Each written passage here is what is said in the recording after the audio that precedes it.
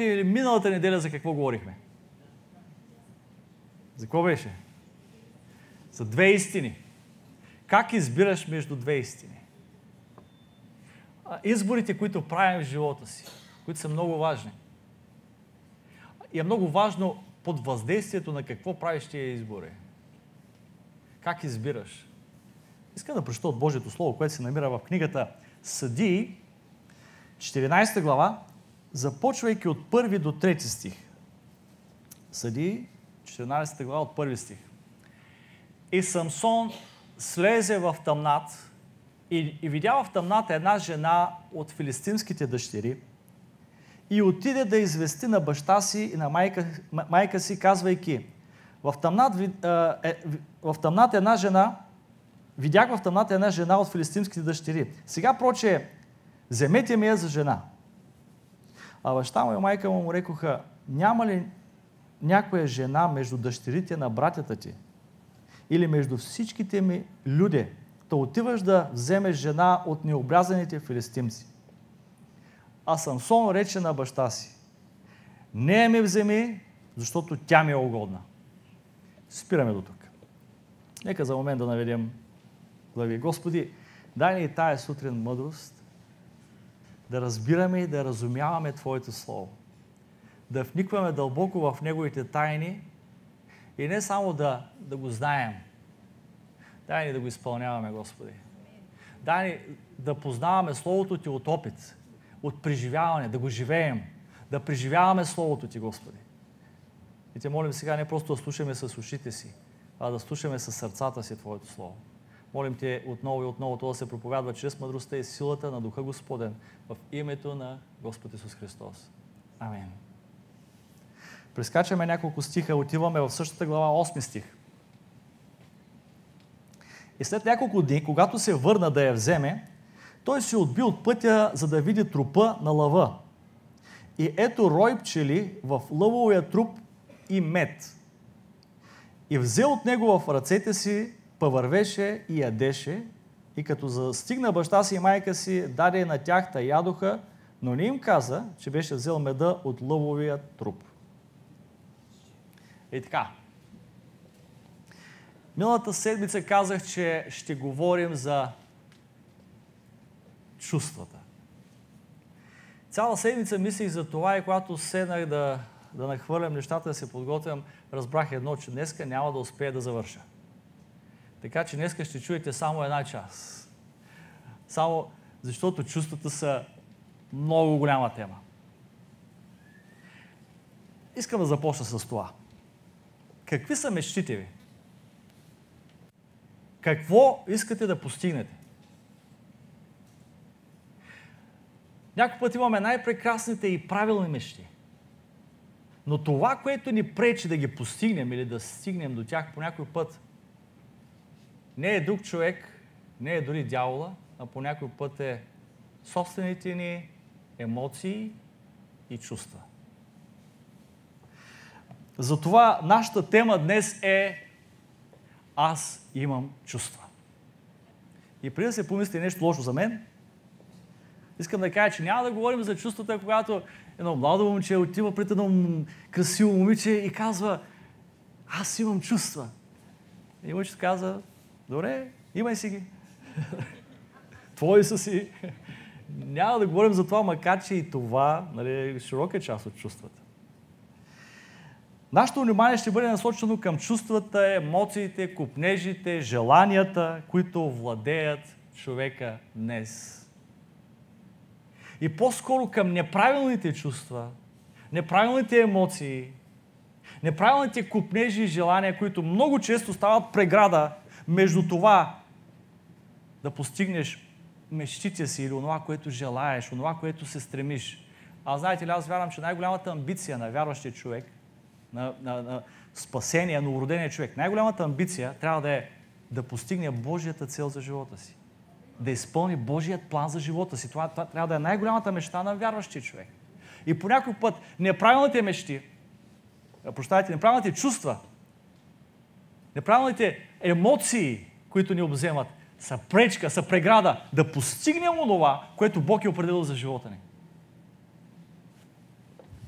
А, много често почувства, хората, много често днескашните хора слагат под общ знаменател и го наричат чувства, неща, които дори не се чувства. Някой път са плътско пожелание. Някой казва, види красива жена и казва, влюбен съм в нея, обичаме. Не, не, това не е любов, това е плътско пожелание. Но хората всичко слагат под общия знаменател. Чувства. Имам чувства. По някой път, както казах, тези неправилни чувства могат да ти създадат голяма беля. Спомнете си за Давид. Видя една жена на покрива и сигурно, сигурно се е мислил, че има чувства към нея. Само, че тя беше чужда жена, чужда съпруга.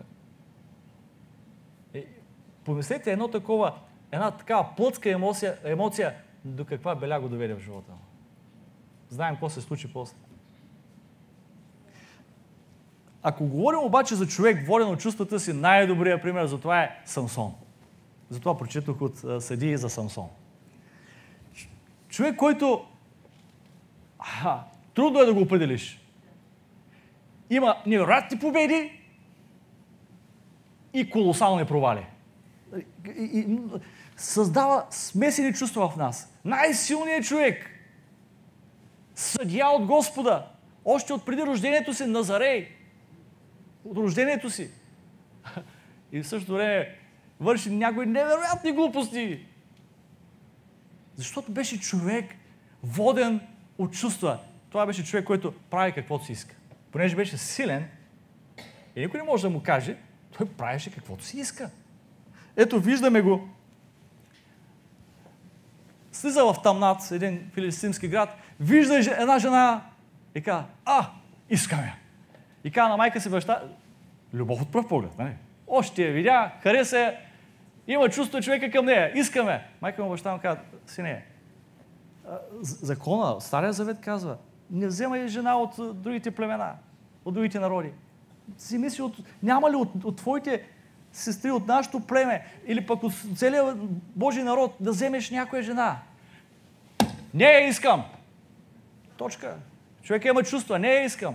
И въпреки, че Словото да, след това казва, ма това стана от Господа, защото той трябваше да намери причина против филистинците, това не беше единствен случай. Целият живот на, на Самсон сякаш беше направляван, движен от временните му чувства и емоции. Защото, какво да кажем после? Иска тая жена, нали? Иска тая жена. Отиде, накара майка си, баща си, отиде и ще се жени за нея. А, помните ли историята? На сватбата той зададе една гатанка на гостите. И те не можеха да отговорят тая гатанка. И, и, и питаха жена му, тя искаше, искаше от него да получи отговора какъв е, какъв е отговора на гатанката. Той е казал на нея, тя е каза на тях. И когато те му казаха, той разбра, че тя го е предала. И както искаше тази жена, както той обичаше, едоса се и я заряза. И си тръгна. Тръгна си от сватбата. нали искаше, нали обичаше? Тръгна си. И много време и тогава бащата е даде на друг. И аз тук, и тук не мога да осъдя бащата, защото ха, ако иска жена си, стой при нея. А, той е даден на друг. Минаха месеци, той, той каза, ще отида при жена си. Последно, искаш ли я? Не ли искаш? Чувства. Владее се от чувства. Тръгна да отиде, разбра, че жена на друг, тогава направи друга глупост, макар че то беше добре пак за Божия народ. 300 лисици, помните ли? Това е детска история, бе, хора. Аз сега се отмъстя, сега ще видиш какво ще направя сложим, върза ги опашките две една за друга, сложим главня, пусна ги и подпали нивите на филистинците. А, живот владяно чувства. И не само това. А, когато отиваха към Тамнат, спомняме си, че той уби един лъв с голи ръце. Той беше силен. Хваща го, каза като разкъса го като яре. Както се разкъсва яре. И аз се чудя колко сила трябва да има този човек. Аз яре не мога да разкъсам. А той хвана лъв и го разкъса. Нали? И после, като се връщаха, минава покрай трупа на лъва и гледа, и гледа там а, пчели, мед. Ай. Сега, нека ви кажа, той беше Назарей, Назорей Господа. Те трябваше да са чисти, да се пазят святи. До труп не трябваше да се докосват. Обаче той е гладен. И, и взе от меда, който е върху трупа, при положение, че Назарей не трябваше да пие спиртно питие, той това правеше между другото, а, не трябва да се докосва до, до труп. Обаче, обаче той е гладен. Сестри, нека ви кажа нещо. За мъжете е гладен много силно чувство. Само да ви кажа, много силно чувство е. По-силно от ток за мъжете.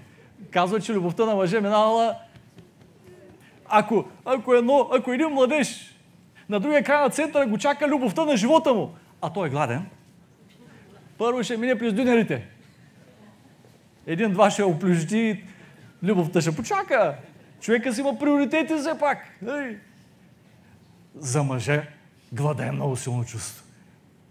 А това го казваме на сестрите, ако искате нещо от мъжа си, нахрани го първо. Ма нахрани го първо, бе.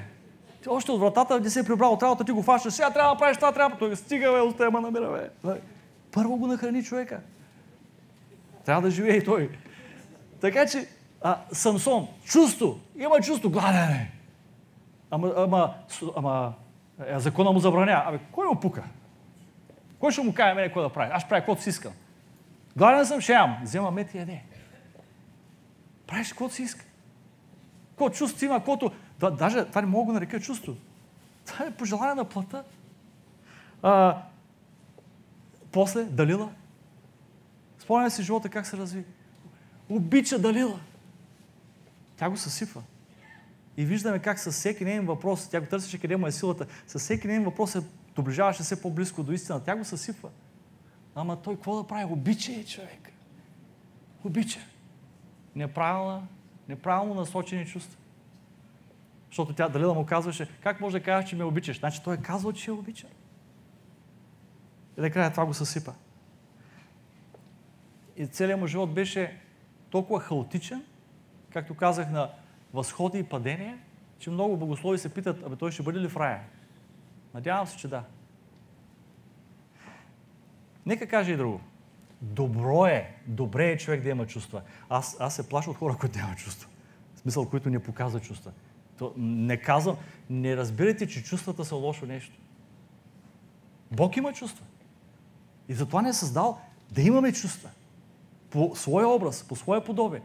Нали казвам, аз, аз се притеснявам от хора, които, когато е весел, изглеждат така. Когато е тъжен, пак изглежда така. когато плаче или когато, не, не, когато има някакви емоции, нищо не е паметник. Па... Имаше едно стихотворение.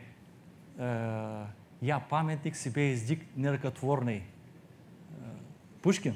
Пушкин, Александър Пушкин, велик поет. А, като паметник, аз се страхувам от такива чувства, от такива хора. Човек има чувство, е нормално да има чувство, е нещо добро да има чувство. Само, че въпросът е, трябва ли върху тия чувства да изграждаме живота си? Те ли трябва да ни ръководят? Те ли трябва да ни владеят или ние трябва да владеем тях? Трябва ли да вземаме решение под въздействието на моментната емоция, която имаме в момента?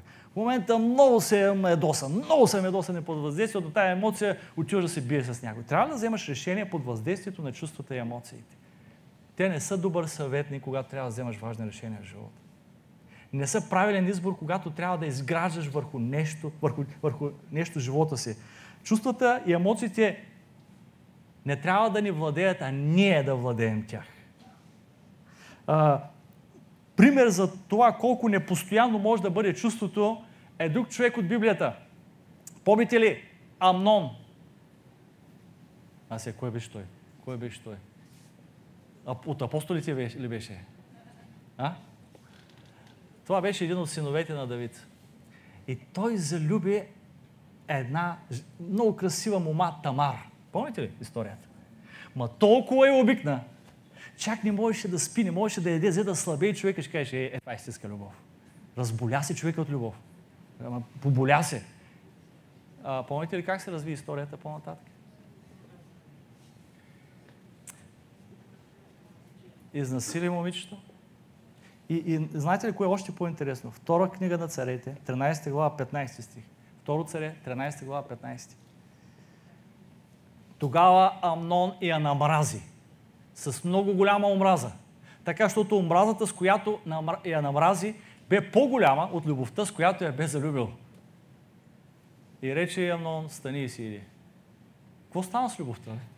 Любовта е толкова силно, красиво чувство. Какво стана с тази любов? Толкова много обичаше, че, че щеш да умре от любов. Ще се поболее от любов. И в един момент, колко, половин час, или колко му трябваше да я намрази. Колко непостоянно е чувството. Любовта е била много близка до омразата, казват някои. Не знам, при мен не е така, но, но, но за някой очевидно е така. А, днеска, мили приятели, скъпи братя и сестри, защо говорим за това? Защото днеска живеем в един свят, в който хората са издигнали чувствата в религия, в идол. Господство на чувствата има днес в света. Защото за днес хората най-важно, за хората най-важно е как се чувствам. Не каква е истината, не каква е реалността, а как се чувствам. За хората днеска, за човека днеска най-важното е да се чувствам добре. Каквото и да става, целият свят да се срути, аз трябва да се чувствам добре. Това е религията днес. Или както казват американците, I feel good. Та, на, на, на, на. Нали? Това е религията на човека. Искам да се чувствам добре. А, и при нас пак е малко... Ние, ние, добре, че тук сме по-назад. Нали си го казваме, че в економическо отношение сме по-назад, ама в някои отношения добре, че сме по-назад. А, на Запад, в Америка, чувствата са дигнати на такъв пиедестал. А, гледах един клип. Един американски политик, който е чернокош. Афроамериканец. А, добър политик. И а, участва в някакъв дебат. Едно момиче, очевидно от либералите, нали? му задава въпрос. Вие чувствате ли се черен? Почва да се смее. Той казва, аз съм черен. Тя, тя, не, не, не, а, а, не, не се смейте, вика. А, не е важно само да сте черен. Вие чувствате ли се черен? А, мен става много смешно. Обаче разбирам, в Америка, на Запад, е много важно как се чувстваш. Примерно, той е бял, ма се чувства черен. Не е важно, че е бял. Значи, щом се чувства черен, такъв е. А, нали, оттам идва и това. Родил се мъж, а, той е мъж, обаче аз се чувствам жена. Ми не е важно как съм се родил, аз се чувствам така. И аз, много, аз имам много силен въпрос към тия хора. Утре, ако се почувстваш кон, да речем. Примерно, защото щом човек има право се чувства, нали, и кот се чувства да е такова, мен много ме е интересно, ако утре някой се почувства кон, какво ще направи? Се запише на конни състезания. и, а, и ако спечели конното състезание, нали, тогава ще призная, че това, което се чувства, това е правилно. Хората днеска са издигнали в идол чувствата си. И, и не само това, издават се такива закони, че нямаш право да нараняваш чувствата на другия. Той се чувства такъв и ти му трябва. Сега той се чувства, е мъж, ти виждаш мъж. Обаче тук аз съм жена. Ти за да нараниш чувствата, закона казва на Запад, ти трябва да му казваш, че е жена. Трябва да му кажеш тя, нея. Сега, аз, сега, тази стена е бяла, но аз имам чувство, че тя е черна. Били брати и сестри, стената е черна, защото аз чувствам, че тя е черна. И някой каже, че е бяла, обижда моите чувства. Нямате право да кажете, че е бял. Няма значение истината. Няма значение реалността. Важно е какво чувствам аз. А, принципът днес е това, което чувствам, това е правилно. Няма истина, няма реалност. Това, което чувствам, това е правилно. А, защо ви разказвам за Америка? Заради мечката. Коя мечка? Нали сте чули поговорката? Когато мечката е играла в съседа, после ще да дойде и при нас. Нали, знаете, че какво се случва в Америка, не е много далеч времето, когато идва, идва при нас. Кое се случва в Западна Европа, не е далеч времето и то, и то ни натискат на сила. Аз вчера пак четох, между другото, Полша приема а, и, и решава, че нейният закон, нейната конституция е над европейската. И в момента Европейския съюз е скочил срещу Полша. Как така? Европейското законодателство и Европейската конституция трябва да бъде по-висока от, от тая на отделната държава. Кога стигнахме до там, бе хора, вие усетихте ли? Изведнъж стана май, не усетихме, а? а и така, всичко е с тая идея. Да се чувстваш добре. А, аз преди години ви бях казал, а, правят социологическо проучване как хората си купуват, защо хората си купуват а, от очевидно хората на Запад, нали, а, които си купуват нова кола, защо са избрали тази кола да си купят? И ми беше много странно и много чудно, че а, а, може би голяма част от хората, огромна част от хората си купували точно тая кола, точно този модел, заради чувството, което създавала рекламата от тях. Гледа рекламата на колата и не е важно за него каква марка, а, какъв модел, колко мощност, каква мощност, а, а, какви части за нея. Не, чувството, което създава рекламата. Викам, тия хора луди ли са? Аз когато купувам нещо, искам да, кола особено, искам да знам каква мощност е, здрава ли е, колко вдига. и, и почна да гледам между другото рекламите и викам, чай да видя, какво толкова са видяли тези реклами и наистина. Гледаш нали, рекламите за коли, гледаш едно семейство вътре, щастлив съпруг, до него доволна съпруга. Това в природата рядко се среща. Само казвам, нищо против сестрите, но рядко се среща доволна съпруга. Нали? Обаче на рекламата е така. Щастливи, усмихнати, отцарен децата на залата знака си играят, рисуват, пеят. Даже има куче, едно рошево куче, което си подава главата през прозореца на колата. И, и колата минава през най-красивите места. А, и накрая колата спряна, те седнали на пикник, залеза. И някой поглежда и казва, о, какво чувство. Искам да имам тая кола. Абе, глупак. А, колата не ти създава това чувство. Той си купи колата, седне вътре в нея и казва, не е същото. Естествено. Ма не колата ти е виновна. Той иска също, иска също чувство. Ма как ще има също чувство, като примерно той няма деца или няма семейство, няма даже куче, пък иска да получи също чувство. И ставаме преследвачи на едни чувства. И впрягаме живота си да гоним, да преследваме някакви химерни чувства, които дори не са истински. Боже мой. И, и, и тогава живота ни се получава пълна каша.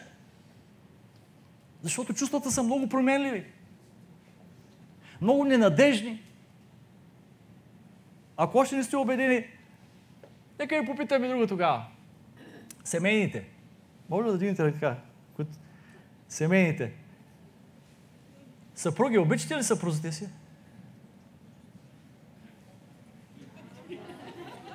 Голяма тишина, бе. Голяма тишина. Един път едно семейство идва при мен за съвет, нали, и си говорим. И аз ги питам, хора, обичате ли се? И те стоят така, през повечето време. Аз питам за другото време. По принцип, естествено, а, братята не смея да ви питам обичате ли съпругите, защото те са до вас и ви гледат. Аз смея да кажа, че, смея да кажа, че не, нали? после се приберете при тях къщи. Нали? Няма да ви спася. А, и, а, а, разбира се, че обичаме съпруга си или съпругата си. Но другия въпрос. Винаги ли? Абе, хем го обичаш, обаче някой път и да го? И, братя, радвайте се, че Господ не е дал силата на жената. Радвайте се. Господ добре знае какво прави. Иначе ще да има много жертви. А, а, обичаш другия. А, друг, друг въпрос. Обичаш ли децата си? О, да. Кой, кой родител не обича децата си? Обаче няма момент казва, о, моля ви се, оставете ме на мира, оставете ме поне за малко да почина. Някой път просто искаш да се манат главата. Колко бързо се променя чувството. Обичате ли децата си? А дори кога станат тинейджери. някой беше, не знам дали е вярно между другото, някой беше написал, че Бог поискал от Исак Авраам да го принесе в жертва, когато бил на 12 години. Не, съм, не знам, не съм го смятал. Не знам дали е вярно. А защо тогава? Ами, преди да стане тинейджър. Защото когато стане на тинейджър, вече нямало да е жертва. Ако Бог го поиска. Бащите и майките на тинейджър ще ме разберат. Така. А, хора, чувствата са много променливи. Много дезориентиращи по някой път. Не са. Не казвам, че чувствата са лоши, не казвам, че не трябва да имаме чувства. Разберете ме правилно. Много променливи. Не знам, аз не попадам на тия неща. Те ли ме търсят? Не, със сигурност аз не ги търся. Обаче, явно те ме намерят. А, при положение, пак казвам, че не търся тия неща.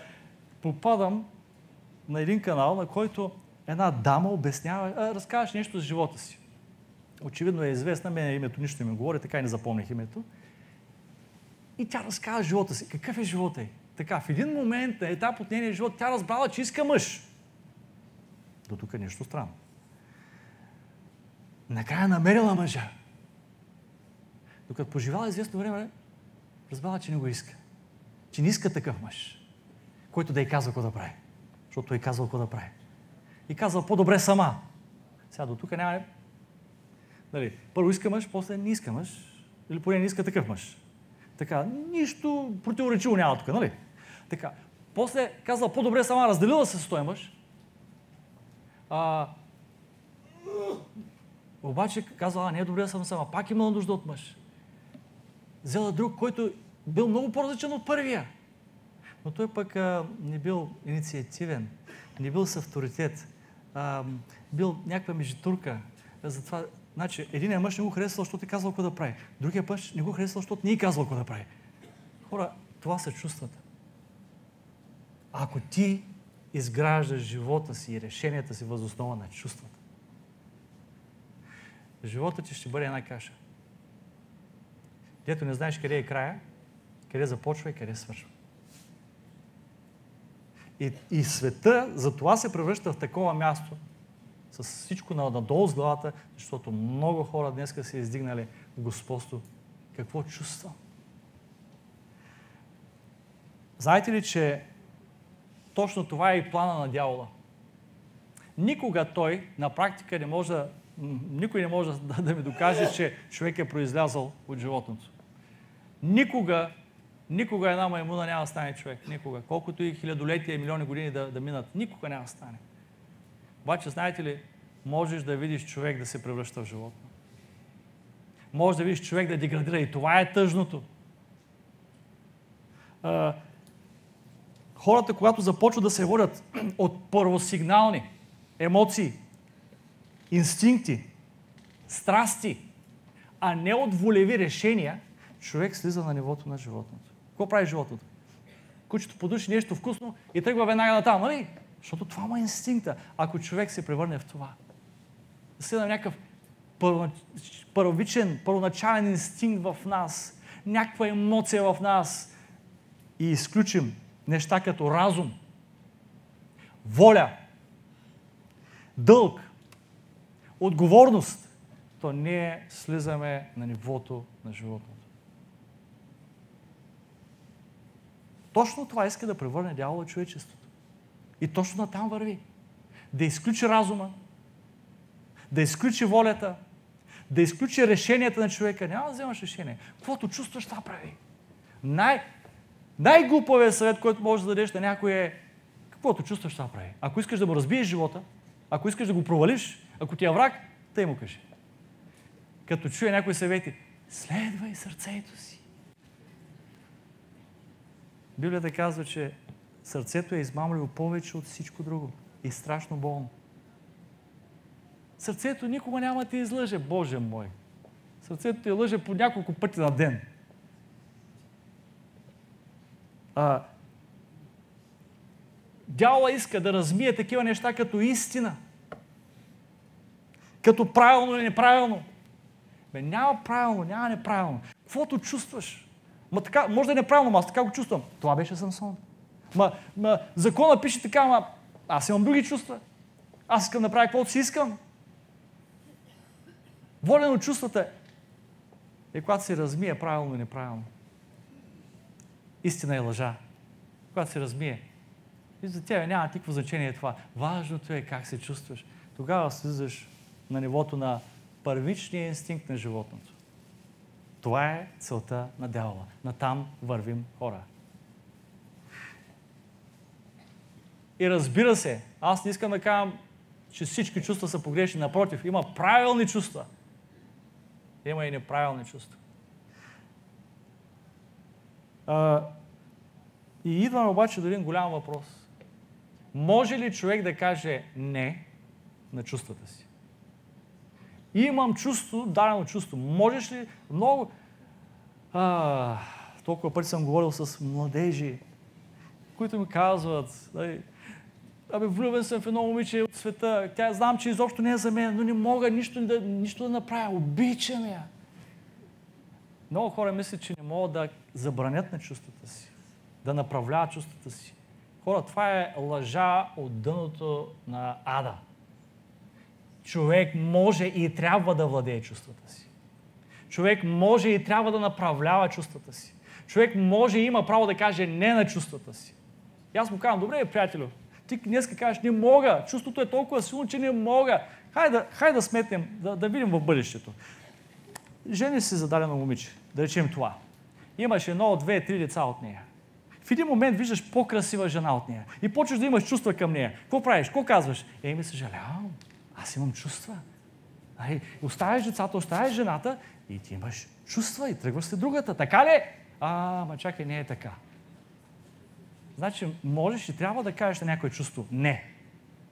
Някое чувство го одееш да кажеш не. Няма, няма да имам...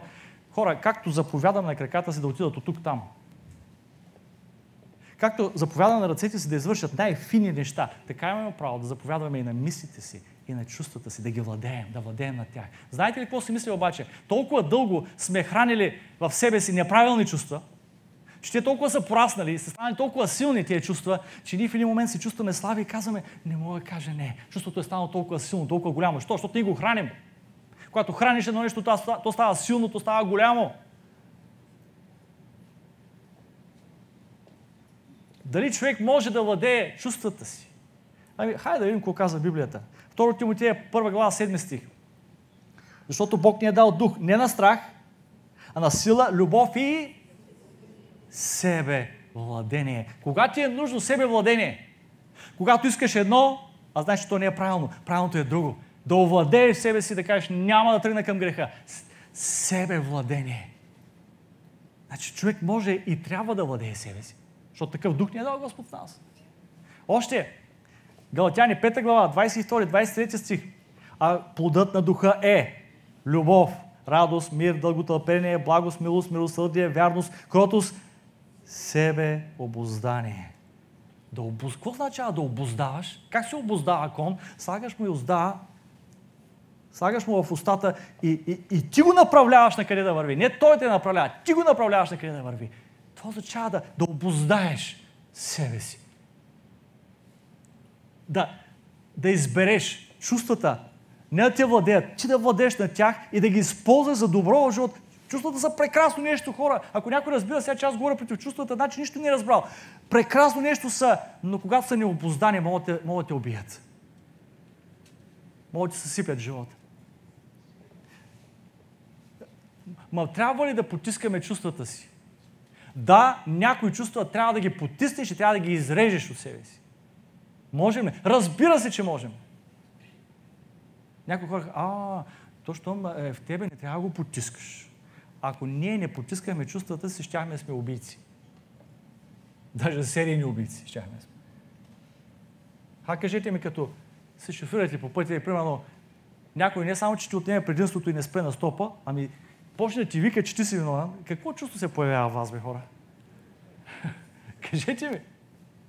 Или пък в единствения ти почивен ден, когато си решил, че ще поспиш до късно, съседа в 7.30 решава да пробива с, пробива с борланжината, нали, точно на стената. Какви топли чувства те вземат към него. Как почеш да го обичаш, ама просто... Ако не трябва да почистиш чувството, ти трябва да отидеш... Нали. Ама не, не трябва да потискаш чувството. Ако ти не потискаш чувство, ще отидеш да му чупиш главата. Това ли, е, това ли е правилното? Така ли трябва да е? Разбира се, че има чувства, които трябва да потиснеш. Разбира се, че има чувства, които трябва да, излез, да изрежеш. Чувства, емоции, първосигнални инстинкти за, за нещо. Да ги овладееш. Е, да, ама това са лошите чувства. Примерно човек трябва да потисне омразата да се е но да, да изреже дори. Ама любовта, любовта, никога не трябва да я потискаме. Така ли? Ами ако си семейен човек, имаш любов, се появи любов към някой друг, а? Какво правим? А, имам чувства. Не ме интересува кое имаш. Изхвърли ги. Изхвърли ги. Защото това, което Бог е съчетал човек, не трябва да го разлъчва. Така пише в Словото, поне така го разбирам и аз. И, и тогава се появява един друг голям проблем. Когато станем хора на чувствата, които изграждат живота си възоснова на чувствата, решенията си възоснова на чувствата, тогава започваме и да служим на Господа а, възоснова на чувства. О, сега съм много щастлив. Господи, издигам те, величаете. После нещо се случи, някой ме ядоса. Не искам да, да, да отивам на църква, дори не искам да чета Библия, не искам да служа. Така ли трябва да е служението ти пред Господа? Изградено на чувства. Сега се чувствам добре, ще служа на Господа. После не се чувствам добре, няма да служа на Господа. Това ли? Това правят много християни днес. Днеска съм, днеска, примерно, съпруга ми ме едоса, затова няма да отида на църква. Хайде логика. Един те е досъл, ти се сърдят на Господ. От къде? А, хора, не можем и нямаме право да служим на Господа само единствено възоснова на чувствата. Разбира се, че в нашето служение всеки човек е пълнен с палитра от чувства и емоции. И по някакъв път те са прекрасни. И много често това е най-красивото нещо, което, което е в нас. Само, че ако тия чувства ти пречи да се доближаваш до Бога, нещо си объркал. А, ние вземаме решения въз на чувствата, обаче те са променливи и тогава е променя, и се променя решението. В един момент кажеш, да, аз се посещавам на Господа, влизаш е в този басейн, предавам живота си, правиш завет с Господа. Да, ама чувството се промени. И в един момент, абе, аз не искам да служа на Господа. Хора, не можем да сме християни на чувствата. Словото ни учи да ходим с вяра. Вяра. Какво чувстваш? Някой път, знаете ли, някой път служиш на Господа с, с цялото сърце цялото чувство е точно това иска. Друг път в тебе всичко крещи. Не! Но там идва, идва друго. Аз имам завет с Господа. Завет, който съм сключил не, не, не въз основа на чувствата. Аз имам завет, аз имам договор, завет с Господа, който съм казал, аз съм Негов. Няма значение какво чувствам, няма значение през какво преминавам. Аз съм Божий. Обаче нещо в сърцето ми не ме интересува. Знаете ли, много пъти, много пъти ми се е случило последното място, на което искам да се кача Амвона. Нещо се е случило, нещо си преживял. И такива чувства имаш, казва, Господи, точно сега, точно сега, последното място, където искам, последното нещо, което искам е да се кача на Амвона и да служа. Обаче, знаете ли, друго е било в мене. Нека първо да послужа на Господа, пък после ще му мислим. И знаете ли, тогава, след като послужиш, виждаш, че всичко е било атака. Всичко пада след това. Всичко е било атака от дявола, който просто иска да спреш да служиш на Господа.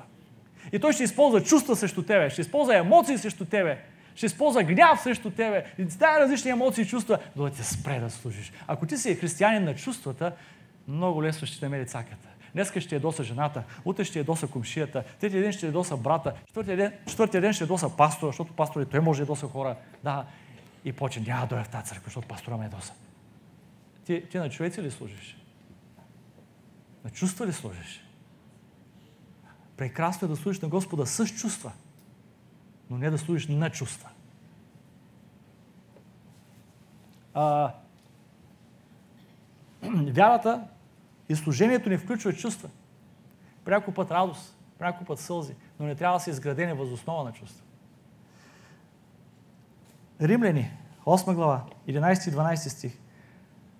И ако живее във вас духът на този, който е възкресил Исуса от мъртвите, то същият, който възкреси Исуса Христа, Христа Исуса от мъртвите, ще съживи и вашите смъртни тела чрез духа си, който обитава във вас. И тъй, братя, ние имаме, думата е длъжност. Не, ние имаме чувства. Ние имаме длъжност. Обаче не към плата, да живеем плътски. Ти имаш длъжност към Господа. Ако ще служиш на Господа, служи с решение. Разбира се, чудесно е да вложиш цялата си любов, излей цялата си любов към Господа. Но по някой път чувството е различно. Някой път, някой път идва при мен някой. Знаете ли какъв е другия проблем? Че ние започваме да възприемаме чувствата през призмата на нашите криви... А, прощавайте. Започваме да възприемаме Господ, познаването на Бога, през призмата на нашите изкривени чувства и емоции. Примерно, аз съм сърдит. И си мислиш, че Господ и Той ти е сърдит. Някой път идва при мен човек и казва, брат Янчо, имам чувство, че Господ ме мрази. И аз му викам, прав. Тогава, не сте ли ме мрази? Не викам, прав си, че това е чувство. Не е истина. не е реалност. По някой път ти се сърдит на някой и си мисли, че Господ и Той е по същия начин. По някой път не ти си човек на чувствата и така и така и мислиш, че Господ и Той е така, като тебе. Един път така, друг път така, като фурнаджиска лопата. И започваш да възприемаш Господ и да вярваш един различен Господ, който е изкривен през призмата на твоите чувства и емоции. Нека ви кажа нещо. Когато Господ ни докосне, това поражда в нас различни чувства и емоции. Но не те са важни. Когато Бог ни докосне някой път и в църквата, един плаче, друг се радва, друг се смее. Емоциите и чувствата могат да са различни, но не те са важните. Как се покланя човек на Господа? Бог иска неговите поклонници да му се покланят с дух, истина. Поклонението не може да бъде изградено въз основа на чувства. То включва чувства. То е... Може да има много чувства в това, но не е изградено. Основата не е чувства. Дух и истина. Така, нека разтълкуваме тези две думички. Истина. Какво е истина? Миналата седмица казахме. Освети ги чрез истината, Твоето Слово е истина. Значи, когато някой се покланя, трябва да се покланя според Словото. Според Словото, на истината. Дух. Какво е дух? Божия дух. Това е личната връзка, срещата с Господа. Божия дух. Той не минава първо през ума ти. Той не минава първо през плътта ти, през, през чувствата. С дух. Значи Божия дух общува с твоя дух. Божия дух общува с духа на покаяния човек.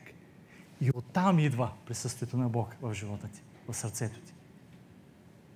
Чувствата са ефекта, но не основата. А... Мили приятели, говорейки за чувства, как да изградим правилни чувства? И както казах, по някой път това изисква да овладееш и да потиснеш някои чувства на омраза, на злоба. Да, трябва да ги потиснеш, трябва да ги изрежеш от живота си. Така казва Словото. А, други чувства трябва да направляваш. Други чувства са красиви, хубави, правилни като любовта, но не, не, не, ги ли направляваш?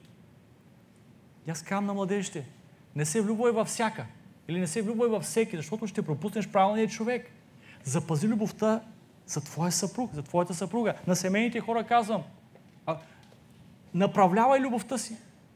Излея към съпругата си излея към съпруга си, не към съседката, не към колежката, не към секретарката, към съпругата си. Словото каза мъже, любете женици си. Направлявай любовта си.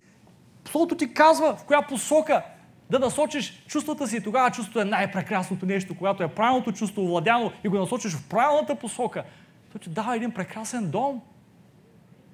Има чувства, както казах, които трябва да изрежем, да потиснем. Има чувства, които трябва да овладеем. Има други чувства, които трябва да отгледаме, които ги няма в нас. Но трябва да ги култивираме, да ги изградим, да ги отгледаме. Просто чувството да възлюбиш ближния.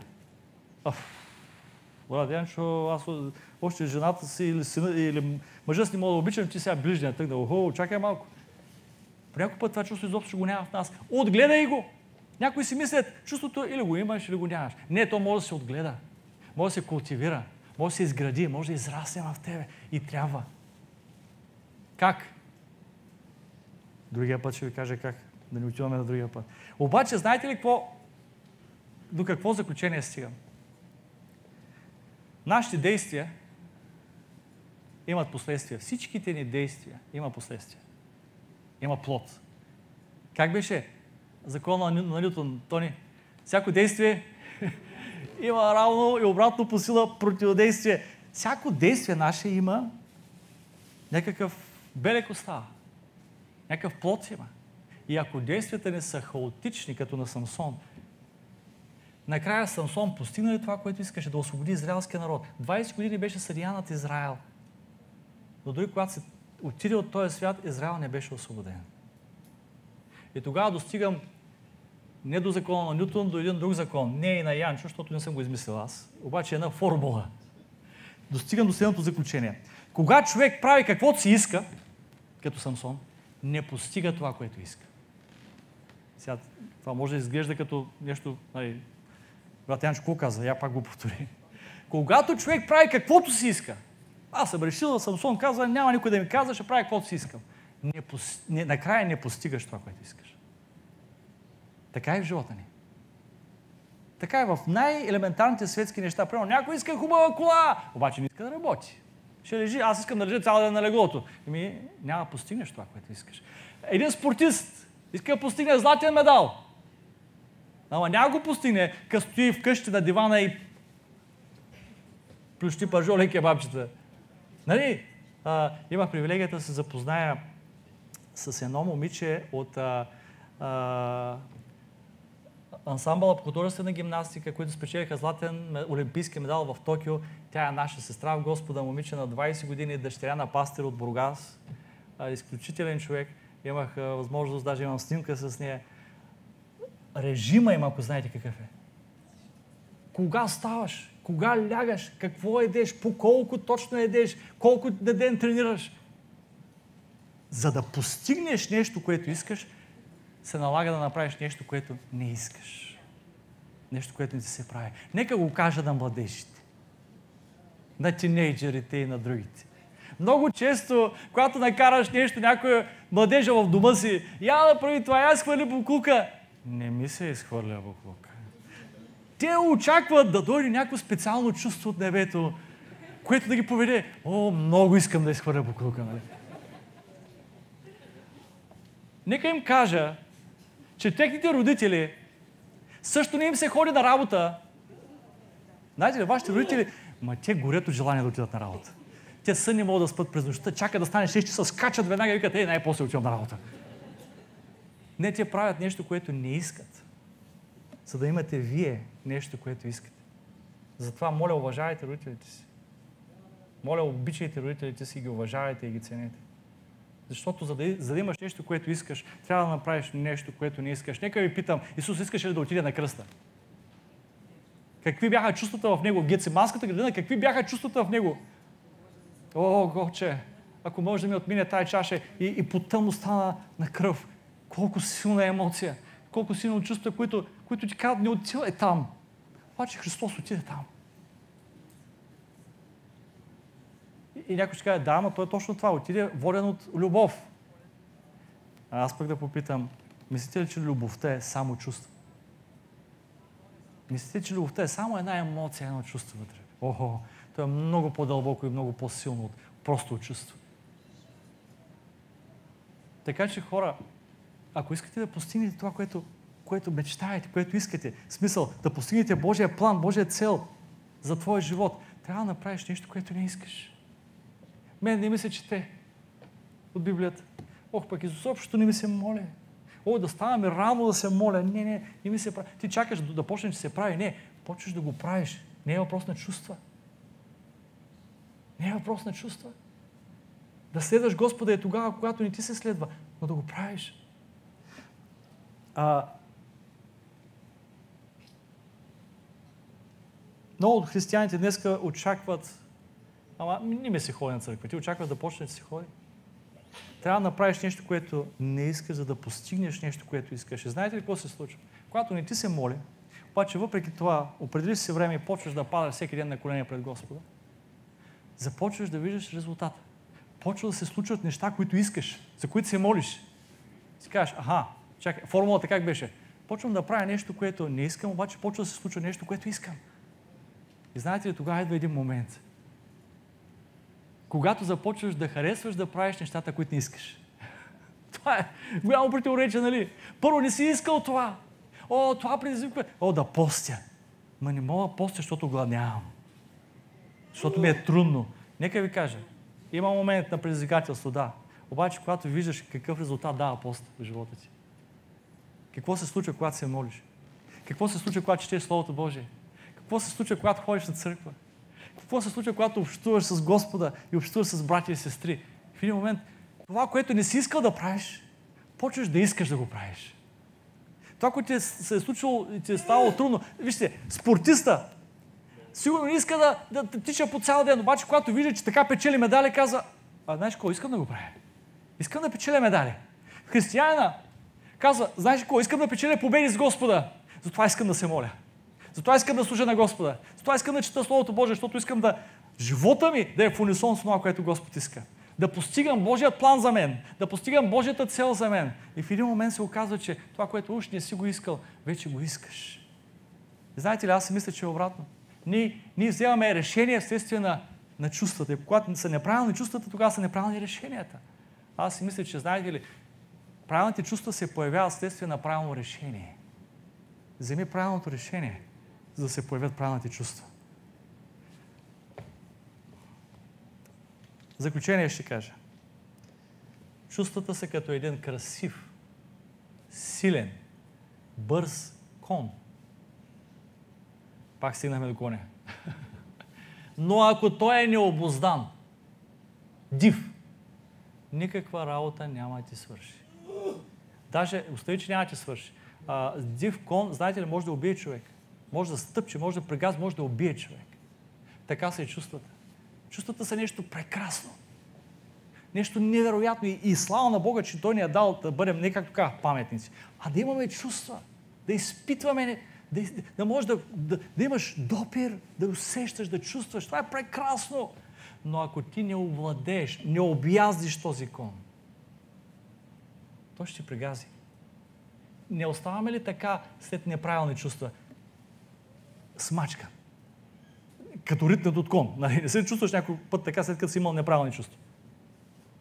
Обаче, обаче, ако успееш да овладееш този кон, да го обяздиш, да се научиш ти да го яздиш, не той тебе. Нали? Знаеш, тогава този кон може да ти помогне да стигнеш много по-бързо там, за където си тръгнал. Това са чувствата. Ако успееш да ги овладееш, да ги насочиш в правилната посока, о, те ще ти служат прекрасно. Защото чувствата са прекрасен слуга, но са лош господар. Затова казвам, чувствата са недадени да ги притежаваме, а не те да ни притежават. Да ги владеем, а не те да ни владеят. Чувствата са дадени да летим на крилете им, а не те да ни тъпчат. Чувствата са отличен слуга, но лош господар. За това, за това, обоздай чувствата и емоциите си и ги впрегни да служат на Господа. Сега, няма да кажа амин, защото няма да свършим до тук. Днеска свършваме до тук. Ако с нещо, от което казах, не сте съгласни, имате право. Защото това е само половината от картината. Картината не е завършена. Как да впрегнем чувствата си? Да служат на Господа? Как да овладеем чувствата си? Ще разберете, ако дойдете другата неделя. Очаквайте. Сега вече ще кажа Амин. Нека да видим нашите глави. Господи, много неща минават през живота ни и сърцето ни. Понякога емоциите и чувствата ни са толкова объркващи, толкова странни, толкова всичко е в каша и ние не разбираме. Боже, помогни ни да вложим в ред чувства, емоции, желания, купнежи. Помогни ни, Господи, да отхвърлим страстта, страстите, плътските страсти от нас. Да ги разпнем там на кръста. Уния неправилни страсти. Било злоба, било омраза, било плътско пожелание, да ги разпнем на кръста. Както апостол Павел каза, се разпнах се с Христос. Да ги разпнем там на кръста. Обратно, да изграждаме и да култивираме в себе си уния добри, прекрасни чувства, които да ни издигат към Тебе. И въпреки това, колкото и да са прекрасни, да не изграждаме вярата си на тях, а нещо друго. Научи ни, Господи, каквото да е чувството в нас, пак да те търсим. Пак да те следваме. Пак да те призоваваме. Пак да те викаме. Да тичаме след Тебе, независимо какво чувстваме. Научи ни да направим усилие, да направим това, което не искаме, за да получим това, което искаме. О, да, да наделеем над плътта си, да я накараме да служи на Тебе, а не на плътските пожелания. Научи ни, Господи, да не правим каквото си искаме, а да правим това, което Ти искаш, това, което е правилно, това, което е нужно, за да служим на Тебе. И насърчавай сърцата ни да са стабилни, да не криволичат наляво и надясно, нагоре и надолу, водени от емоции, а са стабилни във вярата си пред Тебе. Защото с вяра ходим, не с виждане, не с чувства, не с допир. Ние ходим с вяра пред Тебе. Благословено да е Твоето име, Господи на силите. В името на Господ Исус Христос се молим. Амин.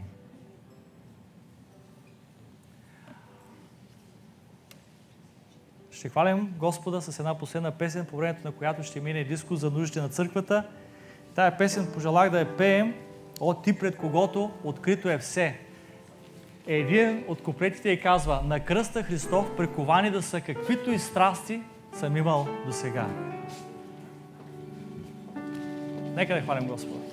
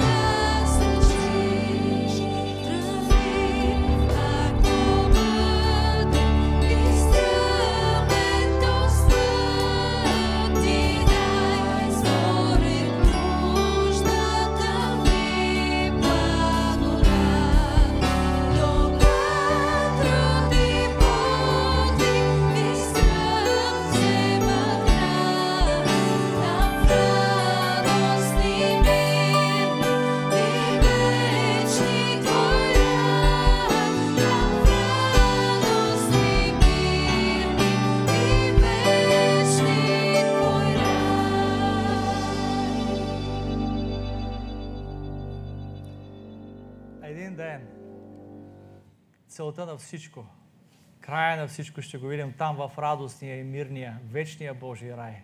И така, мили брати и сестри, насърчавам ви да имаме гореща любов помежду си. И както казах, тая любов не се изгражда само в основа на какво чувстваш в момента, какви емоции те в момента. Да се обичаме от сърце като братя, като семейство, като братя и сестри. А, защото Христос ни възлюби и ние сме длъжни, имаме длъжност към Него. Както Той ни е възлюбил, така и ние да обичаме. Молете се едни за други, насърчавайте се едни други. Не, не служете на Господ спрямо чувствата и така и така, винаги с цяло сърце. Сряда и петък са нашите богослужения през седмицата от 6.30. Неделя сутринта от 10 часа. Нека да бъдем на време пред Господа. Нека се изправим да завършим с една последна молитва. Не се сещам в момента за други съобщения. Ако някой има нещо да, като съобщение, а, хора трябва ли да остава? Хора знае да остане. Добре, добре хора след богослужението да остане, ако обича. Ще моля брат Ясен, ако обича, нека ни води в последната молитва.